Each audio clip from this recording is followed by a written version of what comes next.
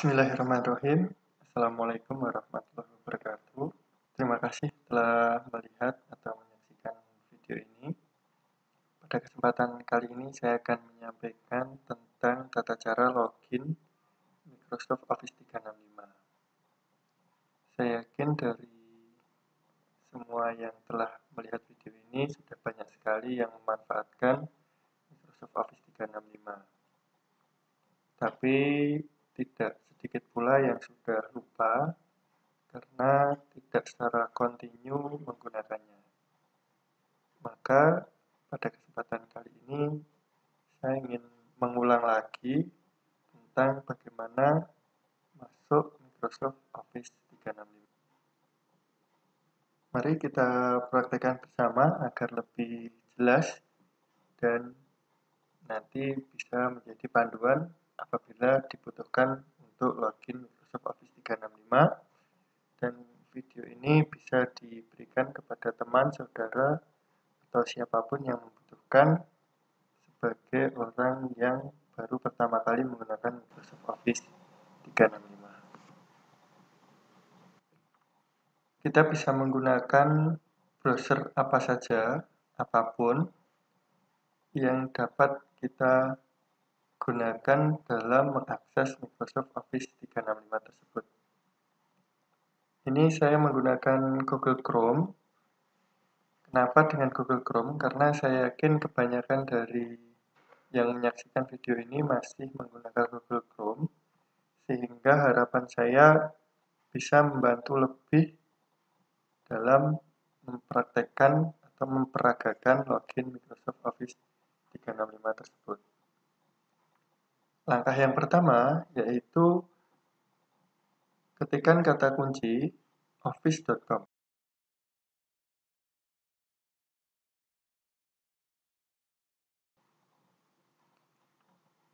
Kita akan masuk halaman awal atau dashboard dari office.com tersebut. Pilih sign in yang laptopnya atau perangkatnya bahasa Indonesia pilih masuk.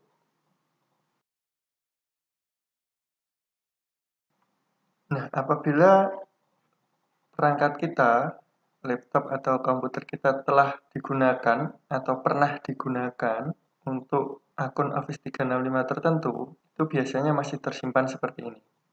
Ini nanti tinggal klik masuk ke akun lama. Ini yang sering menjadi kendala, sebenarnya sudah punya akun, tapi karena kegiatannya berbeda, akan masuk dengan akun yang baru.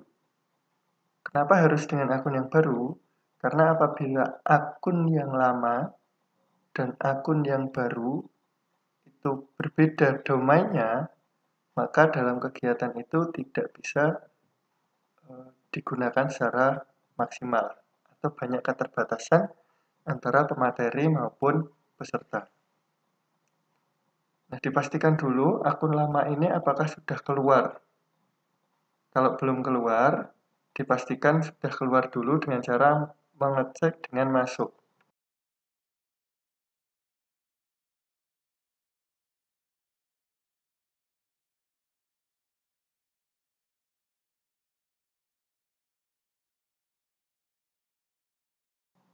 Kita pastikan masuk. Setelah sudah masuk, kita keluarkan. Sehingga benar-benar sudah keluar dari akun tersebut. Kalau sudah keluar, kita ulangi dari office.com.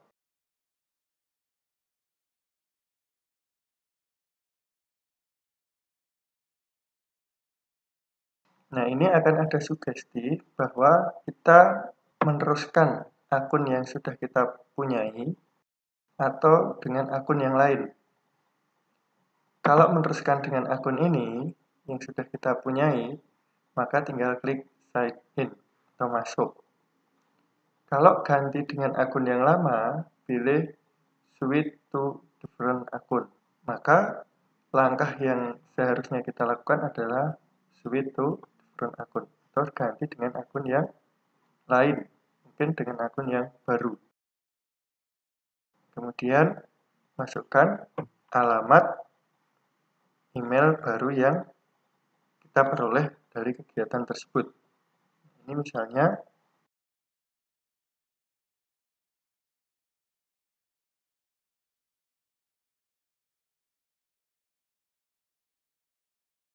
Saya ketikkan seperti ini, kemudian pilih Site In. Kita akan kembali di bawah ke halaman ini. Atau agar tidak mengganggu, akun yang lama ini kita lupakan saja. Dengan cara pada titik tiga kita klik, pilih Forget atau lupakan. Maka akan ketemu halaman seperti ini. Sehingga kalau Mungkin pengguna baru yang belum pernah menggunakan Office 365 masuk ke halaman office.com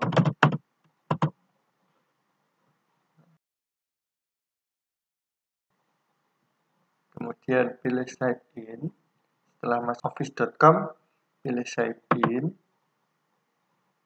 maka langsung ke halaman ini. Tidak ditunjukkan dengan akun yang lama. Ini untuk pengguna baru. Tapi kalau untuk pengguna lama, dipastikan keluar dulu, kemudian di forget atau lupakan. Selanjutnya, masukkan akun baru yang kita peroleh.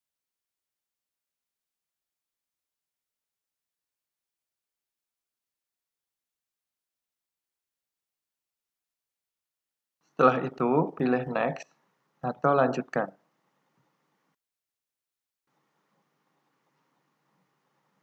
Berikutnya, masukkan password yang diperoleh dari pelatihan tersebut.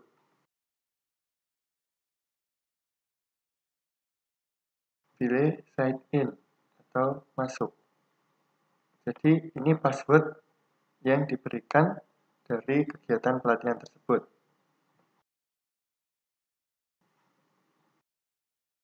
Ini juga akan sering menjadi pertanyaan bagi para peserta kegiatan. Ini harus diisi apa? Kolomnya ada tiga. Ini harus diingat betul, yang paling atas adalah password yang diperoleh dari kegiatan tersebut. Jadi dalam kegiatan itu kita diberi email dan password bawaan atau default password. Nah ini untuk kurun password ini diisi default passwordnya itu atau password bawaan. Selanjutnya, untuk new password dan confirm password, ini diganti dengan password kita yang baru. Passwordnya apa? Bebas. Passwordnya bebas.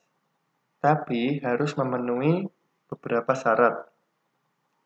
Syarat yang pertama terdiri dari 8 sampai 256 karakter. Biasanya kita menggunakan karakter di antara 8 sampai 16. Kalau terlalu panjang, tentu kita akan kesulitan dalam mengingatnya. Syarat yang kedua, terdapat huruf besar. Jadi salah satu dari karakter yang kita masukkan sebagai password itu adalah huruf besar. Kemudian terdapat huruf kecil jadi tidak boleh besar semua atau tidak boleh kecil semua. Ada huruf besarnya atau ada huruf kecilnya, kemudian dilengkapi huruf besar, dan bisa sebaliknya. Yang ketiga, terdapat angka. Angka minimal ada satu karakter. Selebihnya bebas mau ditambahkan berapa karakter angka. Jadi kalau dijumlah, dijumlahkan karakter yang dimasukkan itu ada delapan yang terdiri dari perpaduan huruf besar, huruf kecil, dan angka.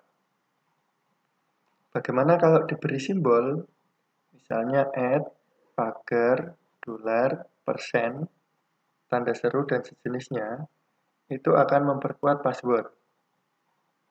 Jadi sangat di rekomendasikan. Tapi kalau sekiranya kita akan kesulitan mengingat, maka menurut saya secara pribadi gunakan huruf besar, huruf kecil, dan angka. Ini saya masukkan password baru yang saya berikan.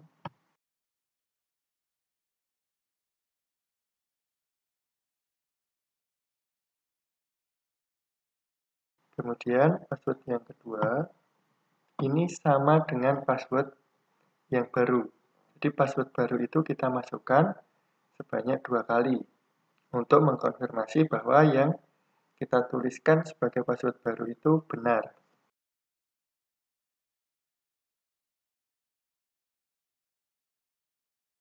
Setelah tiga isian ini kita isi, yang atas password lama, atau password yang diberikan dari kegiatan pelatihan, kemudian dua di bawahnya adalah password baru.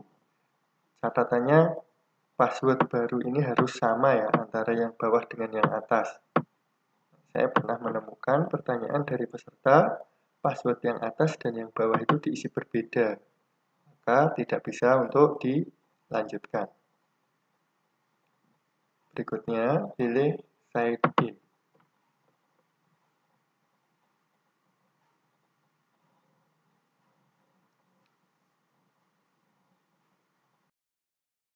Kita telah selesai untuk masuk ke akun Office 365 kita. Tinggal klik tanda silang, sudah siap untuk melanjutkan kegiatan selanjutnya. Seperti itu yang dapat saya sampaikan, semoga membantu. Apabila ada pertanyaan, bisa disampaikan dalam kolom komentar. Assalamualaikum warahmatullahi wabarakatuh.